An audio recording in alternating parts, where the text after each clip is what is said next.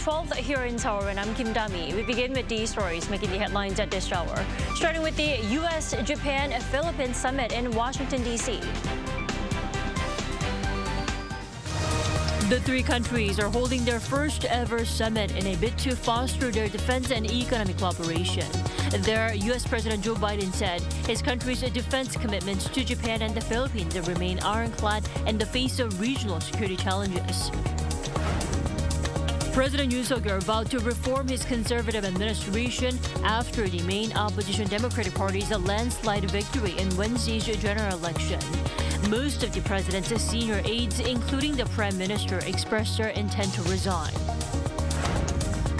An international tribunal has ordered South Korea to pay 32 million US dollars in compensation to US-based hedge fund Mason Capital in an investor state suit the company filed over a controversial 2015 merger of two Samsung affiliates.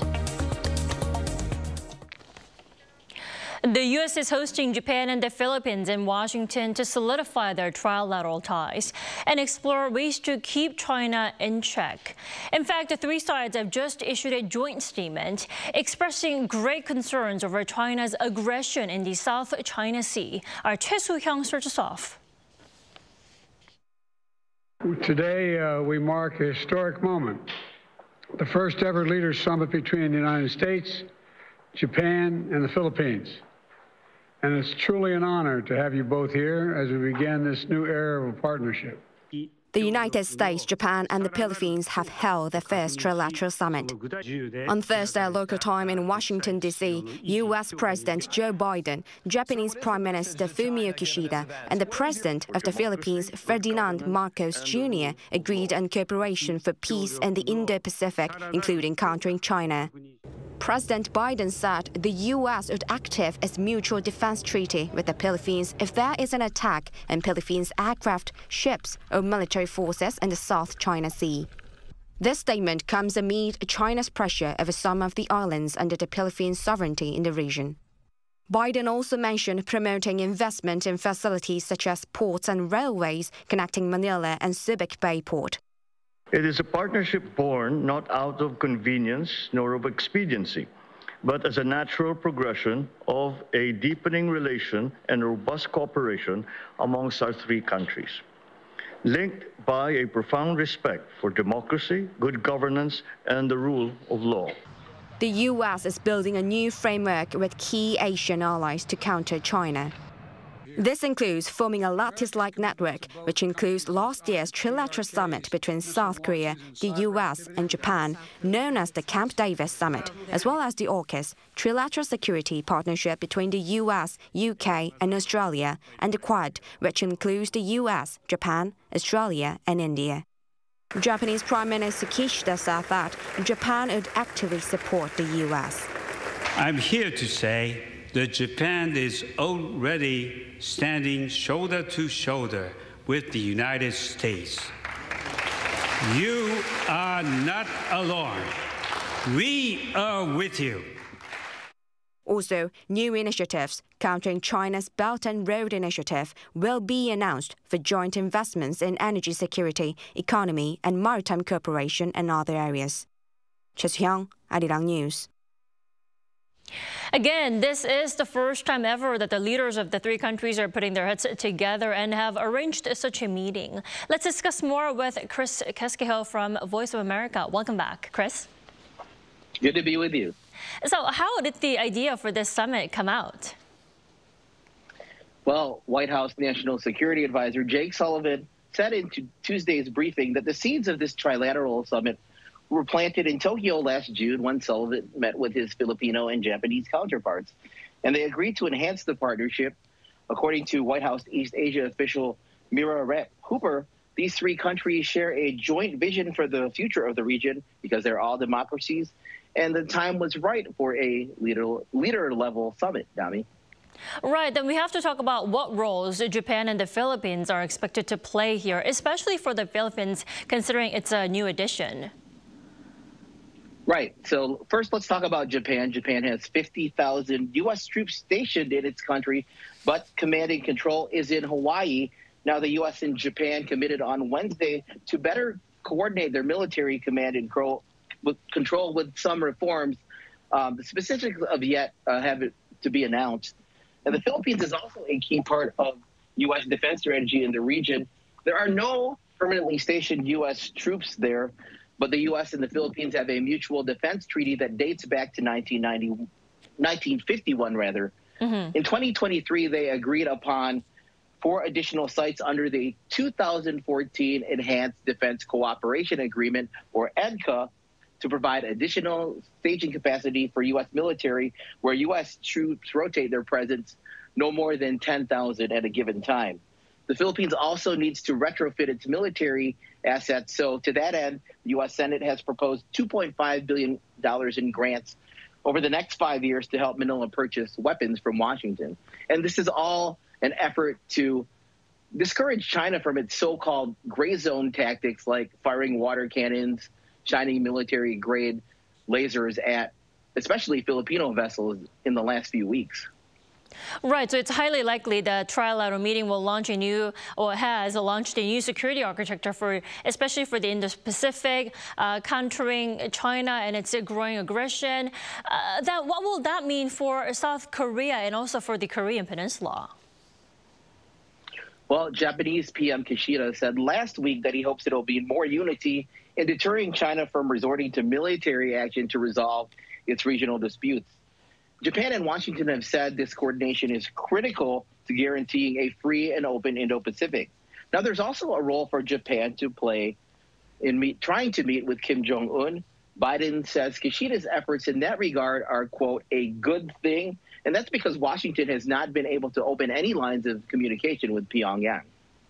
Definitely, and it was actually the first time that Biden showed support for Japan's outreach to North Korea. Now, uh, Chris, I'm sure the trilateral summit on Thursday will get on China's nerves, right?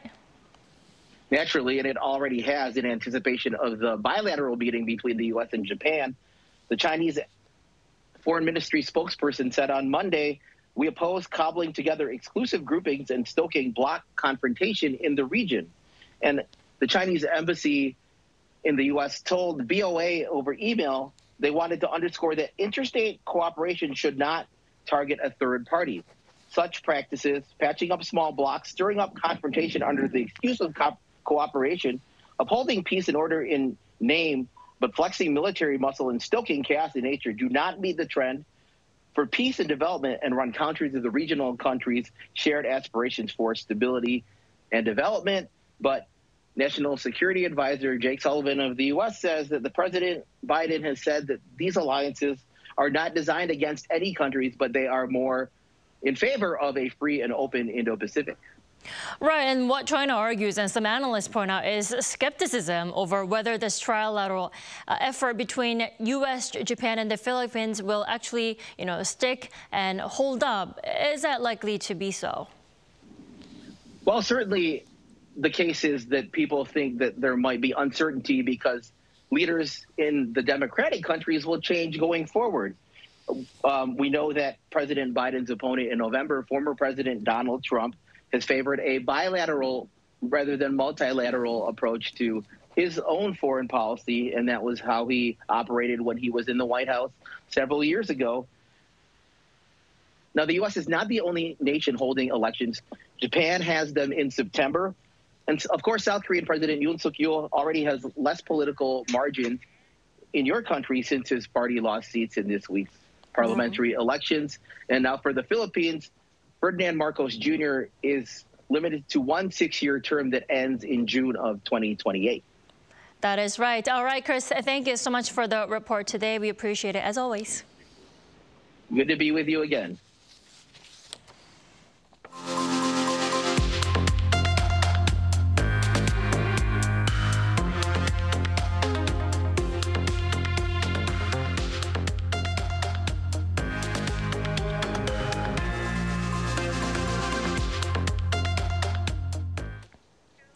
Following the general election result, President Yoon said he humbly accepts the will of the people and promised changes to his conservative administration. Uh, plus, most of the president's senior aides also expressed their will to step down. Our correspondent Oh Young reports. Nearly all senior aides to President Yoon Suk-yeol have offered to resign along with the Prime Minister as the administration humbly accepts the results of the general election that dealt a crushing blow to the ruling party. Yoon's chief of staff Lee Kwan-seop briefed reporters Thursday morning, conveying the president's remarks that he will respect the will of the people expressed in Wednesday's election. He pledged to do his best to reform the running of state affairs and stabilize the economy and people's livelihoods. A senior official hinted that such a reform would first involve an all-out overhaul of Yoon's top aides. Most have expressed their intent to resign. The Chief of Staff, Chief of Staff for Policy, and all senior secretaries, including those in charge of political affairs, the economy and press relations. Prime Minister Han Duck-soo, who has been playing a leading role in domestic affairs, told the president he intends to step down. The inevitable list of figures resigning excludes those in the National Security Council as they deal with the nation's security and foreign policy strategy. With three years left in office, Yoon faces an uphill battle in pushing through major policy initiatives to reform labour, education and pensions, as well as cut tax and subsidise key industries such as semiconductors. Efforts to communicate and persuade the opposition and the larger public remain an ever vital task. When asked whether the top office would engage with the opposition to win their cooperation on bills related to the economy and people's livelihoods, the senior aide indicated that would be the case. The official added that the president has considered Wednesday's general election as the public's evaluation of his handling of state affairs and that the presidential office will reflect upon the outcome. Oh Soo-young, Arirang News. The Bank of Korea's Monetary Policy Committee is holding its third monetary policy meeting of the year at this hour to decide whether to adjust the base interest rate, which currently stands at 3.5%. Now, experts say the BOK is likely to freeze the base interest rates again, citing unstable prices. The consumer price index hovered above the 3% range for two consecutive months in February and March due to high agricultural and global oil prices. If the Monetary Policy Committee decides to keep the rates unchanged, it will mark the 10th consecutive rate freeze. An international tribunal has ordered the South Korean government to pay 32 million US dollars in compensation to Mason Capital, a US-based hedge fund. Now, the move comes amid a investor state suit the company filed over a controversial 2015 merger of two Samsung affiliates. Lee Seung-jae has more.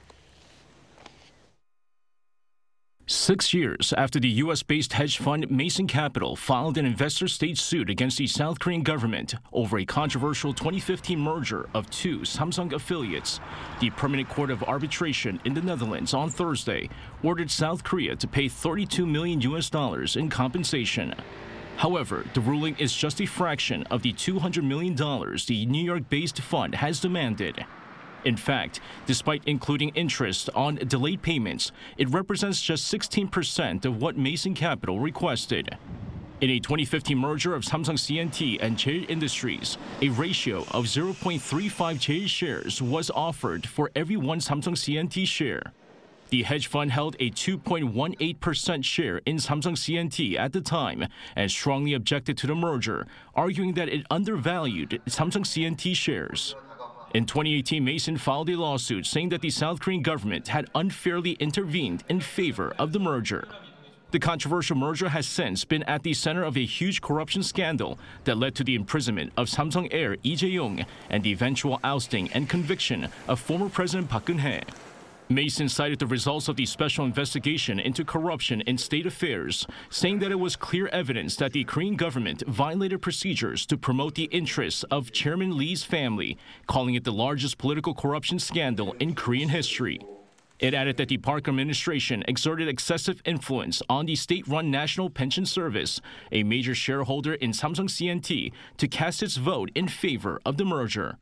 However, the South Korean government argued that while it's true that the former president accepted a bribe and was impeached and imprisoned for it, the bribe was received after the merger, adding that the National Pension Service is an independent corporation that's not part of the Korean government. The latest ruling marks the second time the South Korean government has been ordered to pay compensation over the controversial 2015 merger, as the PCA ordered the government to pay $53.59 million plus interest to U.S. based hedge fund Elliott Investment Management in June 2023. Lee Seung-jae, Arirang News. South Korea's auto exports for the first three months of this year rose to a new all-time high for the period, mainly thanks to the eco-friendly cars. Park Gun-woo has the details. South Korea has recorded a record-breaking quarter one for automobile exports in terms of value. According to data released by the Ministry of Trade, Industry and Energy on Thursday, total exports came to 17.5 billion US dollars, or nearly 24 trillion won, up 2.7% on year. The value of outbound shipments in March alone rebounded to just under $6.2 billion after a drop of $1.05 billion was recorded in February from the month before. The rise was mainly attributed to growth in hybrid vehicles. The value of hybrid car exports in March jumped 37% on year to a record high $0.85 billion. In terms of domestic sales of hybrid cars, more than 40,000 units were sold in March, an on-year increase of 23.6%, despite domestic sales of all vehicles falling by 12% last month. Sales of electric vehicles were also up by 15.5% on year, with total domestic sales of so-called green cars up 18.6% last month. And 365,000 cars were produced in March, higher than 2023's monthly average of 354,000, but down 10% from the same month last year. The industry ministry said decreased production was due in part to fewer working days and construction at one of Kia's factories. The industry ministry also said it would work to ensure a robust performance for the auto industry in 2024 to mirror last year when outbound shipments worth nearly $71 billion were seen. Park Gun-woo, Arirang News.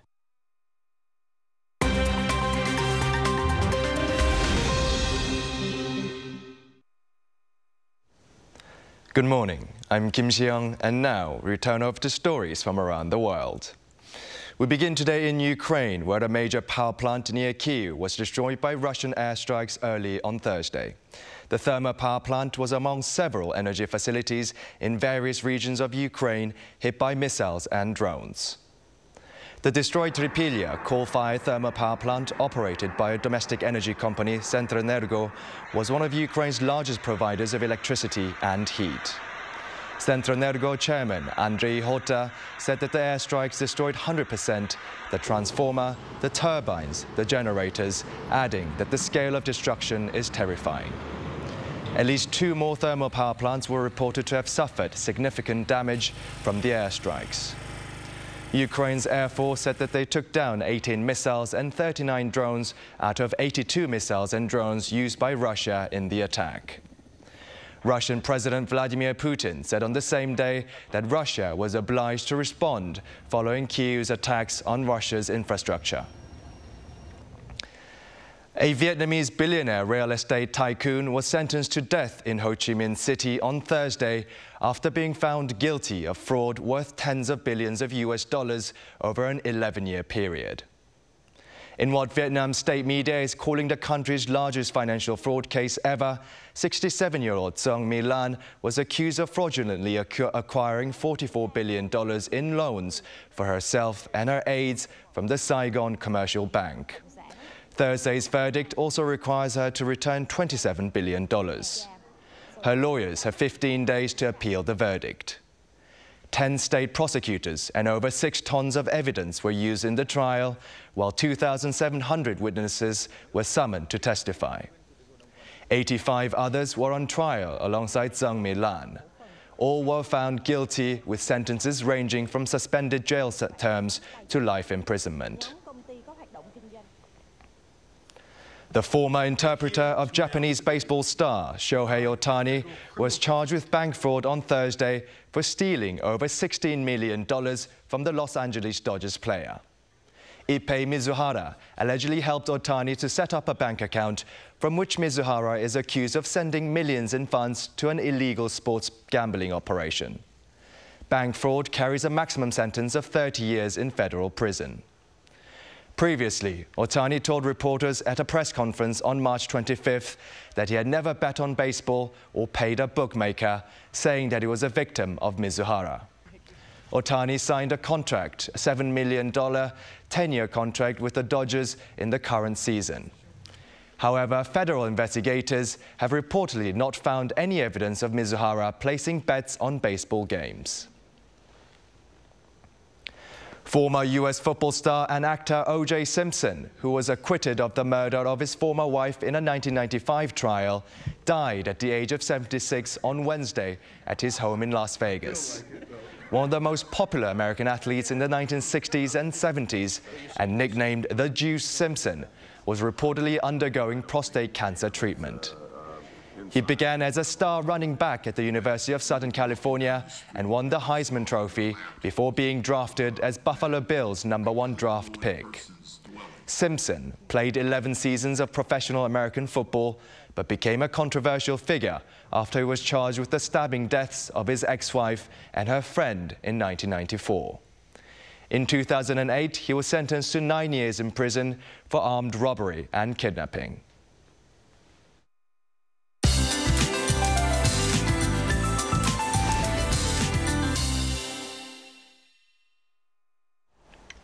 Good morning. We are expecting an early taste of summer this weekend. By Sunday, Seoul will see a high of 28 degrees Celsius, but unlike southern provinces, will not be as hot as Seoul.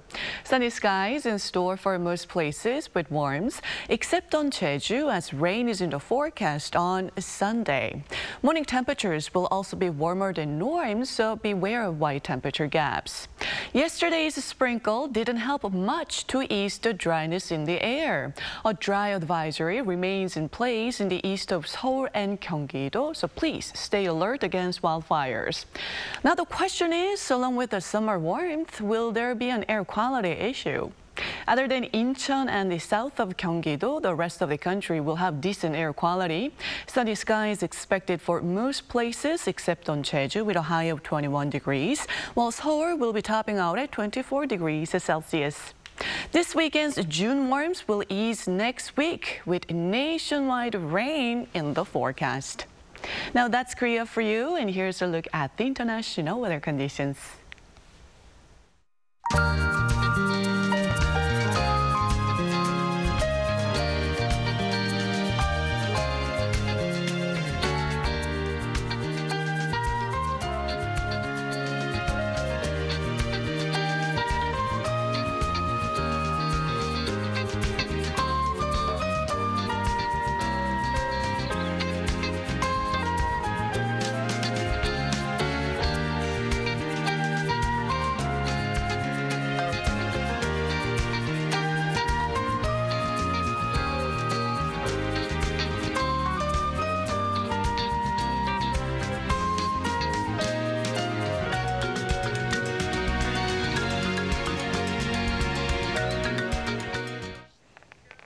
Thank you for watching New Day at Arirang. We'll be back next Monday at the same time, 9 a.m. Korea time.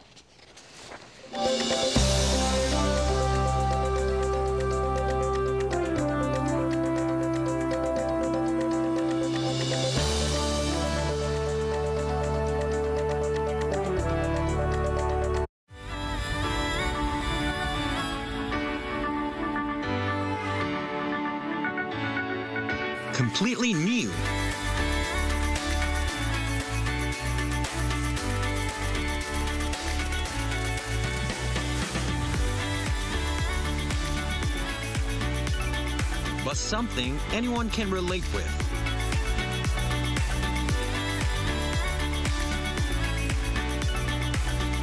Flawlessly made.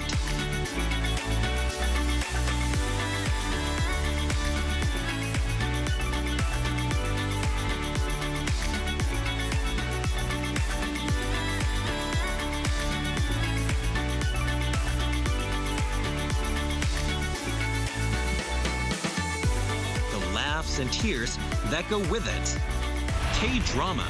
Korea is coming at you with another story to tell.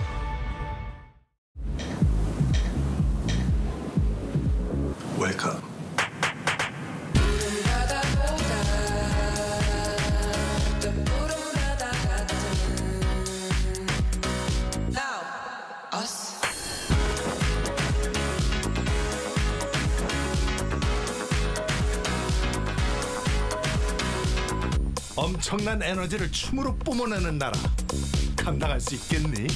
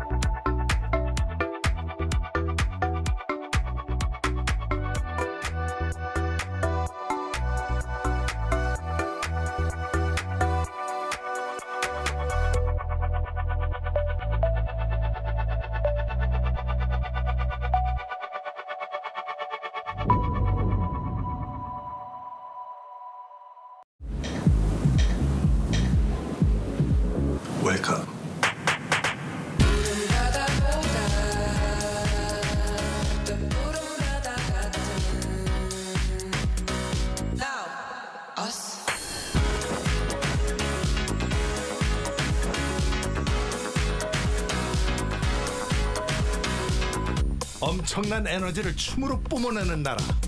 감당할 수 있겠니? Welcome.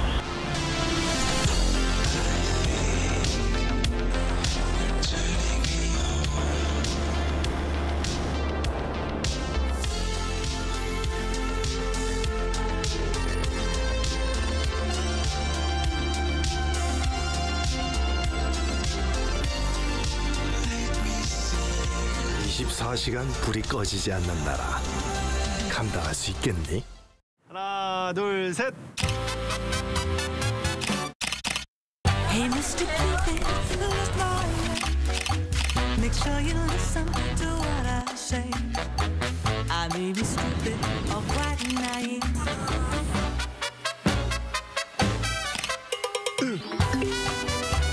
쏟아지는 포토스팟 휴대폰 한 대로 감당할 수 있겠니?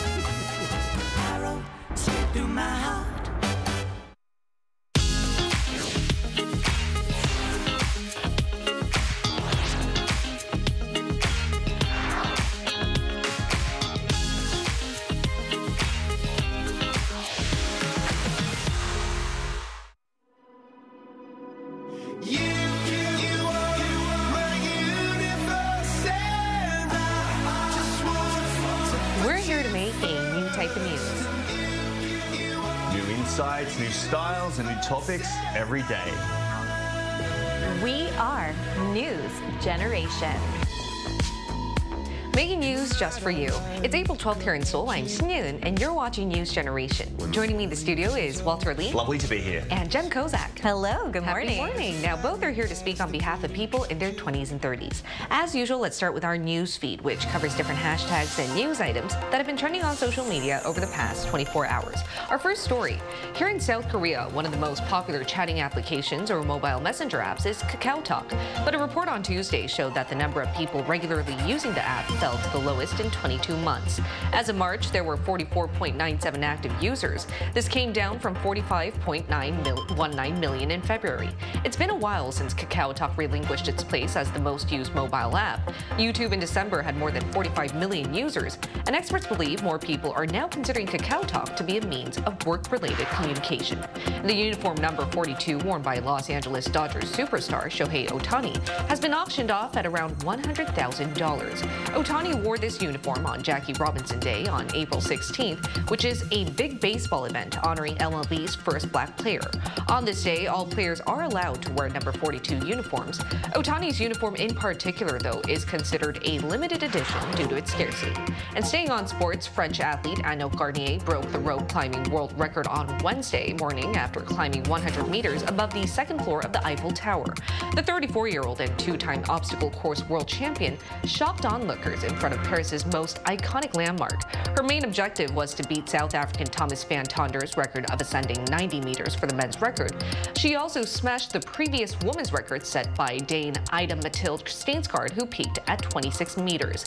After just 18 minutes of climbing, Garnier hit 100 meters, and she told AFP that it was a dream come true. Now, here in the studio, I'd like to ask our panelists what they thought about this news story, and how do you feel whenever you see or hear about stories where athletes break their own record or world records? Well, I think it's incredible because, you know, we think we know the limits of the human body and what the human body can do, but then people continue to break records on and on. So I think it's we're learning more about how much we can actually handle. So I thought I saw this video and it's incredible. I would be way too afraid to do such a thing. Exactly. And what was more interesting was that she was climbing up the Eiffel Tower. The Eiffel Tower. The My iconic goodness. site of Paris. so that was interesting to see as well. What about you, Walter? Well, first of all, I think it's a great achievement for a female in this Mm. situation because not only did she break the female record, she also broke the male record, which is very rare to see uh, any woman do because obviously the difference in strength.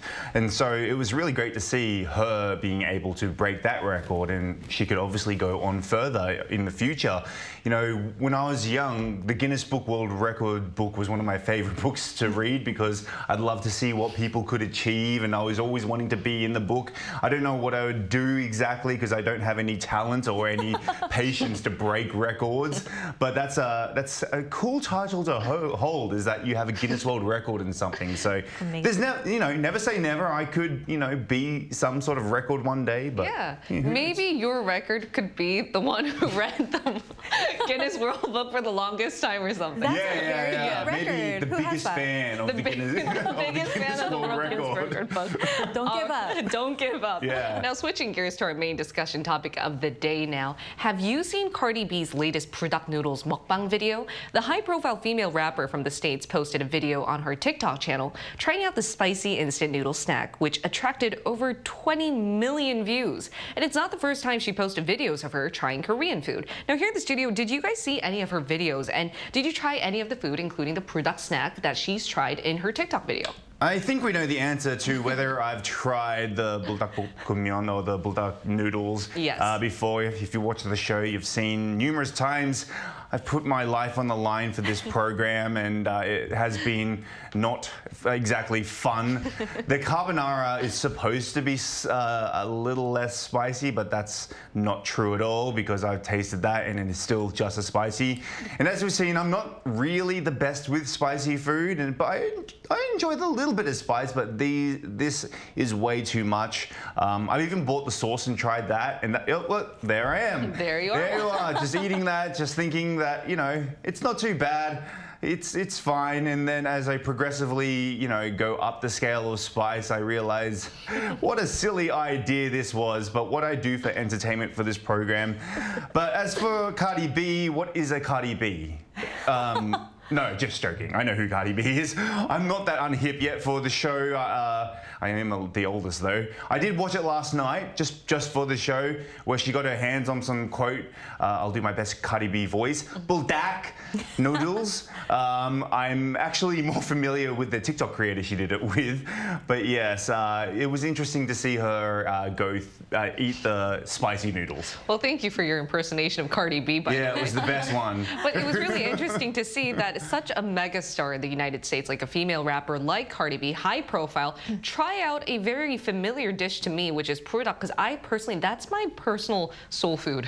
Oh, really? Whenever I feel down, I have to have my buldak because it really relieves my stress. But what about you, Jem? Have you ever tried buldak noodles that Cardi B's tried out as well? I have not, but you're convincing me right really now nice. that uh, I think I should try it. And I think if I do try it, I would do it the same way that Cardi B did Mm. in the video, right? She tried the carbonara, Sarah buldak bokumyeon with a little bit of cheese, a little bit of milk, something to cool it down. Mm. I, I think I would. But uh, searching through her videos, actually, this was not the first Korean food that she tried. She also had bungeoppang, so like the fish bread, tteokbokki, chicken feet. Do you know sotteok sotteok, the little sausage and rice cake on a stick? I love that one. That is also uh, one of my favorite foods. But of course, tteokbokki is my soul food. I love tteokbokki so much. As you can see here, I make it at home. I buy it instant, eat it with my kids. Um, every flavor of the tteokbokki rainbow, the rice cake rainbow, is my favorite. So yes, absolutely. I can see, and as we're seeing on the screen, that's tteokbokki, spicy rice cakes in Korea. They're a popular junk food slash instant food nowadays. We're seeing it at convenience stores as well. And along with the K-wave or Hallyu, Korean food has been gaining popularity globally. But it's not just fancy traditional dishes or K cuisine like bulgogi, like meat or beef.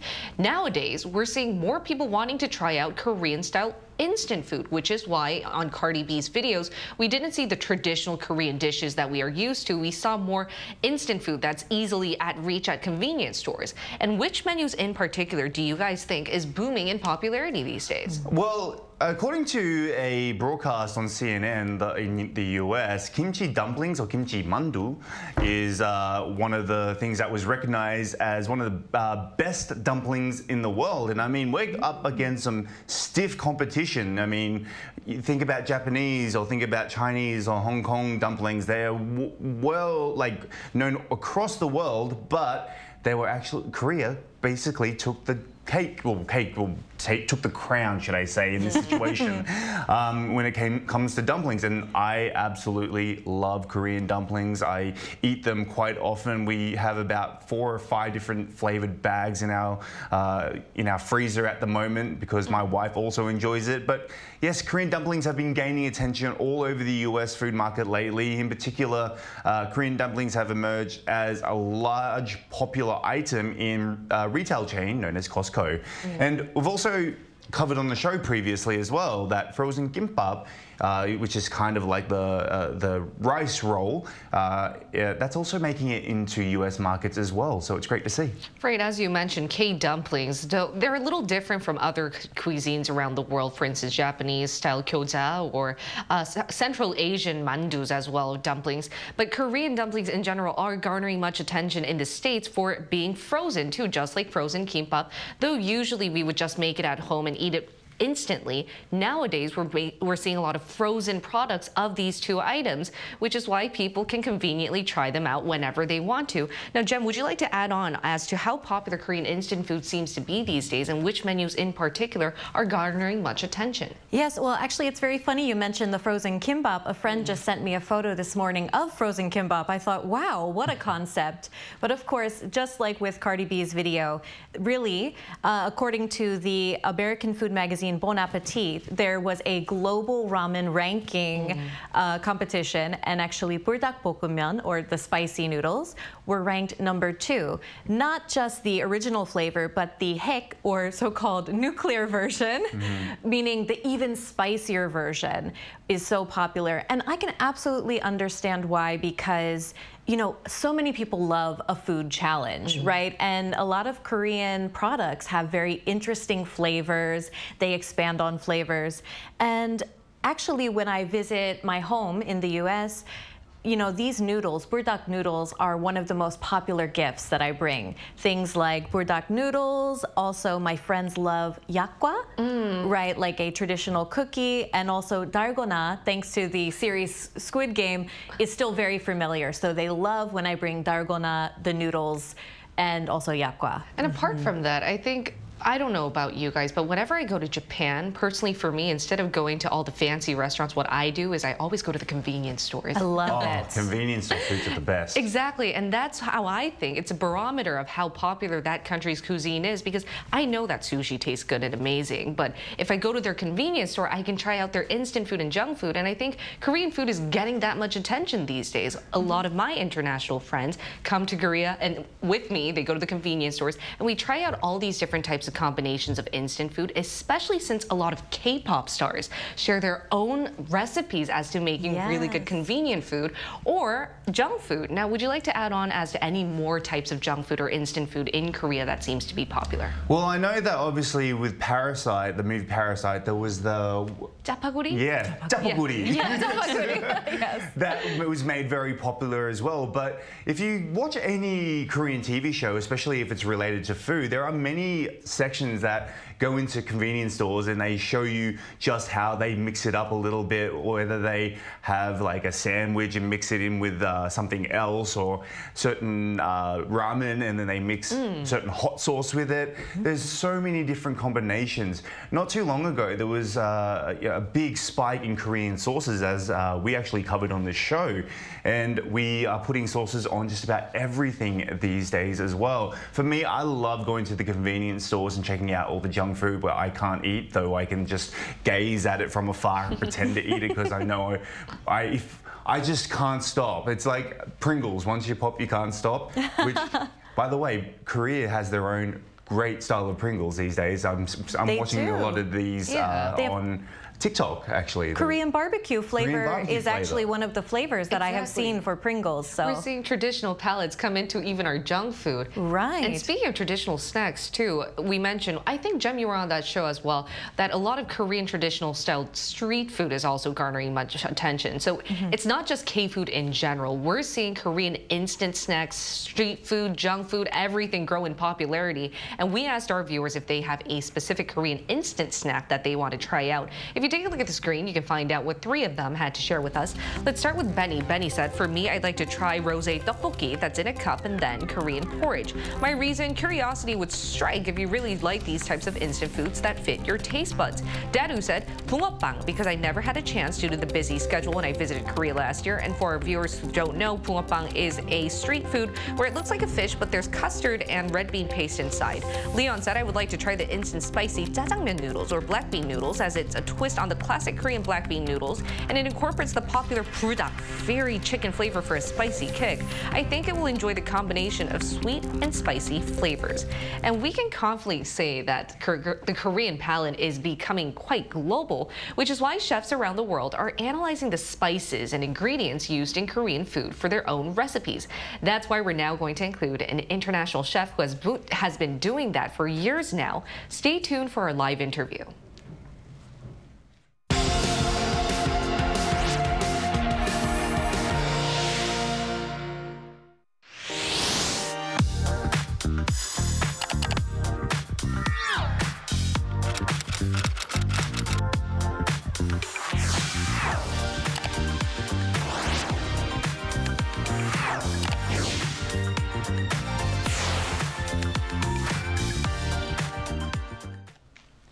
We're now going to turn to a chef and organic farmer from the States who has lived in Suwon City in South Korea for 17 years now. It's Chef Ryan Phillips. Welcome, Ryan.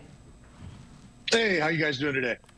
All right, great to have you here, Ryan. And throughout the whole episode, we've been talking about the Korean food craze. And would you agree that Korean instant food in particular, like buldak noodles, frozen kimchi mandu, and kimbap is getting global attention? And when did you know for sure that Korean instant food is becoming popular around the world? Oh, it's got to be the online presence that uh, that made it so apparent. That and and I go back and spend time with friends and family every year for at least a month, and and I've just seen it more and more. I'll carry things back with me in my luggage, and then I get to Dallas, Texas, and at an Asian market, they've got all of them already there, and I'm like, why did I carry this over? So why do you think it's so popular around the world? Well, of course, it's driven by by celebrities, by by the music, um, just just the wave that we've been talking about for 17 years, but it seems to be really happening more in the last couple of years. uh, in, in my opinion. Great. As a chef in Korea, how are you trying to jump on to this trend? How should Korean food better accommodate the palates of foreigners? Yes, what kind of things are you doing to make this happen? Well, I don't know if I'm I'm trying to jump on any trends. I'm I'm more of the farmer chef. You know, I'm I'm usually going back to the backwards rather than trying to trying to make the next big thing. I do have a couple of ideas. Um, I, I've got an idea of kind of a, a fried bread with using a little bit of rice flour for that chewiness, but then a different kind of filling. I know you've seen things kind of like this. If somebody's willing to pay me enough, I will sell them this idea and they can be that guy. I don't want to be the fried bread guy. Um, I'd much rather be the or- organic farmer chef guy. And as an organic farmer chef, what do you think about more foreigners turning to the instant flavors of Korean instant food then? Let, let me start by saying I have had buldak bokumyeon, and it is intensely amazing, satisfying, delicious. Um, I, I think any of you guys that have tried it, if you can handle the spice, and I love spicy, um, uh, it, it, I've, I've taken it back and shared it with friends and family back in the States. And even though it's a little hotter than most of them are used to, they love it as well. It's just, I mean, it's packed with, with MSG. I mean, it's going to make you feel great and make you love it. I mean, uh, I don't judge chefs that use uh, those kind of ingredients or, or go to instant stuff at all. It's not my forte, but trust me, I've been on a bender for days before, uh, multiple times with those instant uh, foods because they are just so satisfying. They are, and I'm one of the many people who can't seem to be hooked off of it. But I do have to say that there's so many other organic tastes in the Korean dishes that we're trying out right now. And as a chef that's been living here for so long, if your friends or family come to Korea, are there traditional tastes that you would like to promote here in Korea? Oh, you bet. There's so many things. I mean, the marinated crab for starters. That's something that people have no kanjang kejang. That's something that people around the world really haven't even heard anything about, and it's just such an amazing Korean food. And it, it and although it sounds strange to a foreigner, possibly once they taste it, I think they'd fall in love with it. They will, they will. Thank you so much, Chef Ryan. It was a pleasure talking to you today. My pleasure. Y'all have a good day. Thanks, All right. Thank you. And we've mentioned numerous times that Korean food is booming in popularity around the world, but today we dedicated our episode in focusing on Korean instant food trends. Now, hopefully, I would like to see this trend continue to boom, but at the same time, as the chef mentioned, there is a lot of MSG. They're not the most healthy options. I mean, it's worth trying once in a while. But regardless of that, how would you guys like to see this booming Korean instant food trend go on from now? Obviously, uh, K-food is the bomb. I love Yeah. it, and it's. Uh, I remember growing up in like Australia, and actually Asian food was mainly represented by Chinese food. Yeah. Now it's great to see that Korean food is now almost overtaking Chinese food in the way of uh, Asian style food uh, or oriental style food anyway. I really hope and they kind of do it here in korea sometimes uh, that they do things like jokbal which is like pig's trotters in frozen form and they can send it out because uh, that's a food that i absolutely love. And when i go to australia i mean they're not really used to pig's trotters. I know that in european countries it's very quite common but in australian countries i don't know about america but that pig's trotter is not a common thing to eat. And like uh, the question that you asked Chef before, like what would I recommend for my friends to come? That's one of them, but they can't get their head past the fact that it's a foot. And, and for some reason, I'm like, you're okay with eating every other part of the body of the pig, but what But why about not the feet? foot? A delicious foot. A delicious, delicious foot. feet. And like sometimes when I introduce like uh, one of my favorite foods is sundae like I tell them, oh, by the way, this is made from like a blood sausage and it's also got Yeah. pig's face parts in it. it just turns them straight off. But they, people out there who haven't been to Korea, you have to be more adventurous. You have to be, you know, willing to go the extra mile and- and push the limits of your taste buds uh, because Korean food is amazing. And you've already tried that if you jumped on the Buldak Noodle Challenge trend as well. You've already tried pushing your palates to see how much you can attest your spiciness level. And I completely agree. Once you come to Korea, there's so many different food options out there. And hopefully today's episode gave you a few ideas on what to try next. What about you, Jem? What would you like to see this trend go forth? Well, yeah, I totally agree that K food is the best. Uh -huh. I mean, the best. Maybe I'm biased, but I love Korean food. However, I would love to see more traditional mm. kind of flavors. Um, if you've ever had bingsu, ice flakes with injeolmi powder. Yes. And I try to tell my friends, oh, well, it's a kind of sweet soybean powder. And when you say it in English, like, it doesn't really sound yeah. that delicious, right? right? I'm like, believe me, just try it. Things like uh, soybean powder, the injeolmi, also black sesame. Yes. So maybe you've seen black sesame lattes or injeolmi lattes, as well as something like sweet potato. Mm. Even in the right. USA, um, it's not specifically a Korean flavor, but it is very trendy here in the winter. And I started eating sweet potatoes since I, I lived in Korea. So to me, it feels like part of the culture, part exactly. of the food palette. Yes, a necessity, actually. So I would love to introduce those kinds of things. And looking back to our viewers' comments as well, they said they want to try rose tteokbokki. So we're seeing a lot of fusion happen here in Korea as well. And as you mentioned, Jem, sweet potato lattes yeah. or injeolmi latte. We're seeing so many different traditional ingredients and spices being mixed with modern food these days. So there's just a plethora of different options out there for you guys to try out once you're here. And then once again, hopefully today's episode really shed light to the different options you have. Now, in the meantime, we'll be here every day from 9.30 to 10 a.m. Korea time, bringing you more topics young people are talking about. Special thanks to Walter Lee. Lovely to be here. And Jem Kozak. Thank you. Right. And thank you everyone for watching. We'll see you next week. We are News, News Generation. Generation.